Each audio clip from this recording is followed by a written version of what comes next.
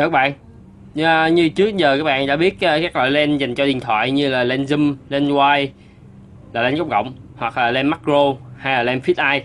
Hôm nay mình xin giới thiệu đến các bạn một cái mẫu lens để phục vụ cho việc ờ, chụp chụp và quay những thước phim 3D để chúng ta có thể xem trên kính thực tế ảo, kính VR.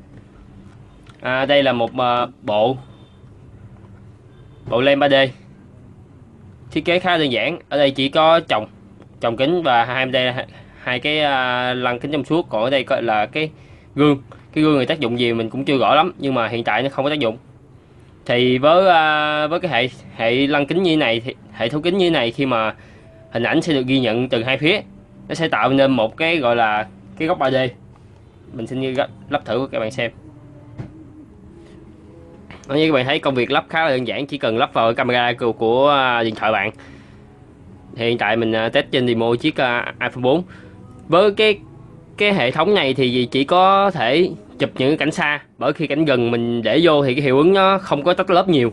Còn với những cái cảnh vực xa nó như thế này mình chụp xa, thì bạn thấy là nó chụp như là hai cái ảnh riêng biệt. Vậy nhiều bạn hỏi, nếu mà chụp hai ảnh riêng biệt như thế này thì mình chụp hai tấm ảnh, mình ghép lại thì có khác không? Thì mình xin thưa nó sẽ khác. Nếu mà bạn chụp hai tấm ảnh bạn ghép lại thì nó vẫn là tấm ảnh phẳng còn với cái này thì nó là một thấu kính giữa và nó chụp sang hai bên. Nó chụp hai bên vào tương tự với tầm nhìn của mình. Nó chụp hai bên vào à, một vật thể thì khi mà chúng ta đeo vào kính VVA sẽ có hiện tượng là sẽ thấy được 3D đồng thời với khi mà chúng ta quay phim chúng ta quay phim sẽ tạo được hiệu như một bộ phim 3D cho chúng ta xem à, kính thực tế ảo.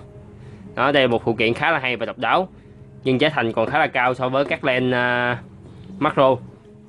Một bộ trung bình khoảng dưới 200.000 đồng. Nó khá đơn giản, phần lớn là nhựa và đó. Ở đây không có gì. Đó. ở đây thì là hai hai lăng kính. Ở đây là cái gương. Rồi. Rồi, mình xin